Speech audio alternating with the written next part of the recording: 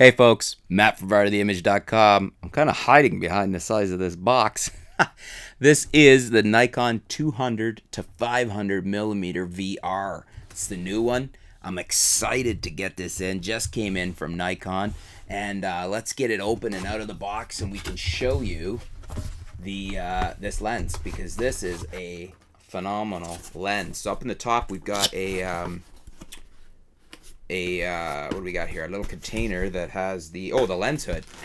And the lens hood on here is a big oh that that's a that's a huge lens hood. Look at the size of that thing.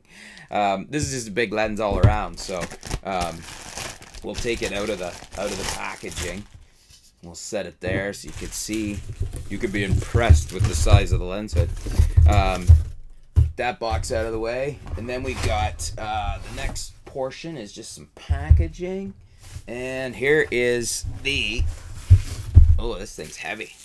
All right, let's get this over there out of the way. And what do we got here? We'll put the bubble sleeve back in. That's got some weight to it. That is a big lens. Check out the uh, the front element. Let's see, does it say what the filter size on here is? Might not be stamped on there. I bet you it's on the inside of here. 80, no, 95. 95 millimeter filter size. That's pretty big. When we add the um, when we add the uh, lens hood on here, check out the size of this. That's pretty pretty good size lens. Um, it weighs a fair bit.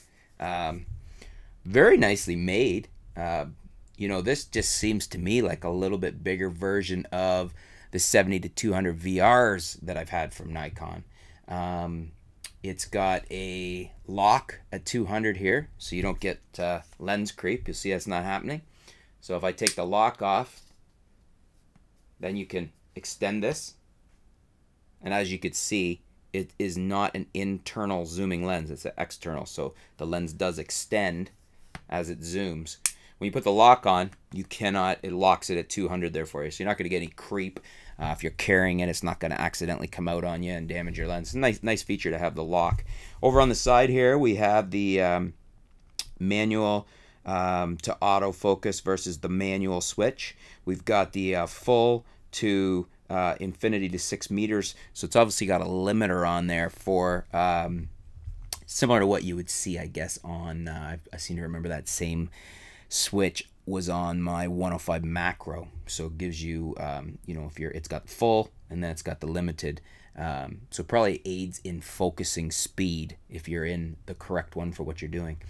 Um, I'll look that up and see exactly what they say about it because I don't remember exactly what the two differences are there but I do know it's got something to do with um, the focusing speed and, and limiting it so it's faster. We've got normal and sport on our VR, and then we've got an on-off switch for VR. And the back element, as you can see. And just, wow, just an impressive lens. Um, big lens. And uh, made in China. SWMVREDF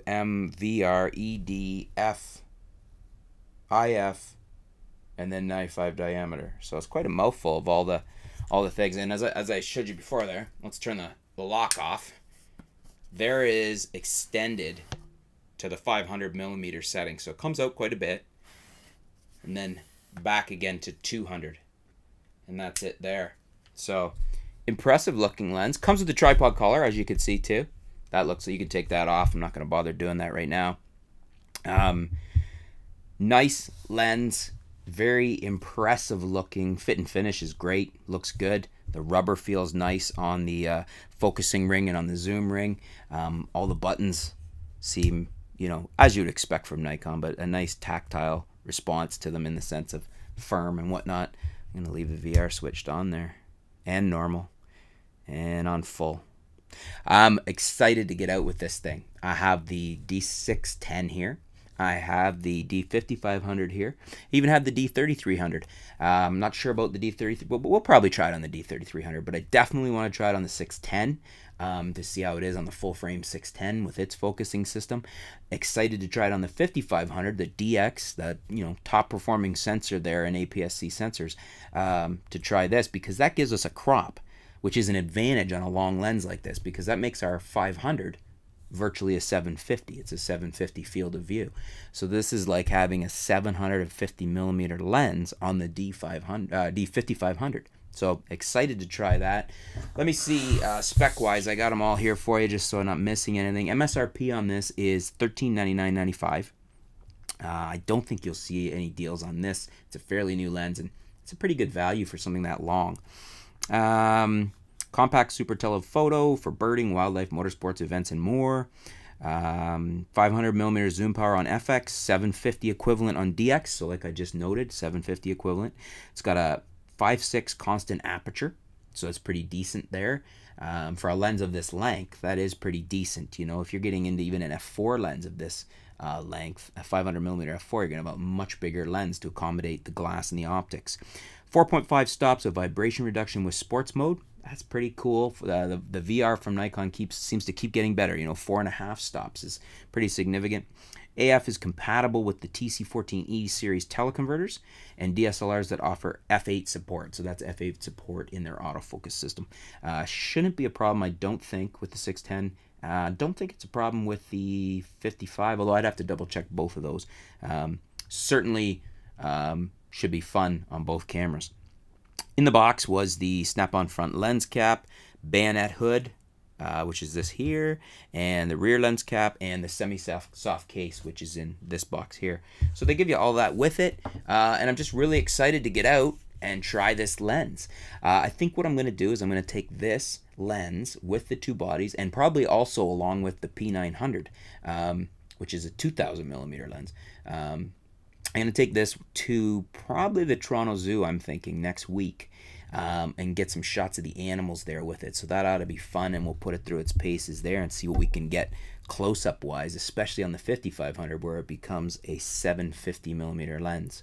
Uh, if you guys have any questions about that 200 to 500 millimeter, leave them in the comments below. I'll see if I can get them answered for you. I'll get some shots going so we can show you some results from this lens um, and just show you some hands-on shooting. We'll do some videos when we're out in the field shooting and show you how it is in operation and then give you my full review of it. Uh, so I'm really excited to try this. I think it's going to be a beautiful lens. Um, I've got great expectations, as they say, to quote the book title.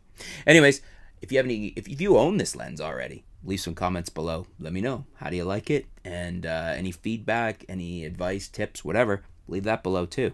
And uh, thanks for tuning in. Stay tuned. We'll be back soon here at artoftheimage.com. Thanks.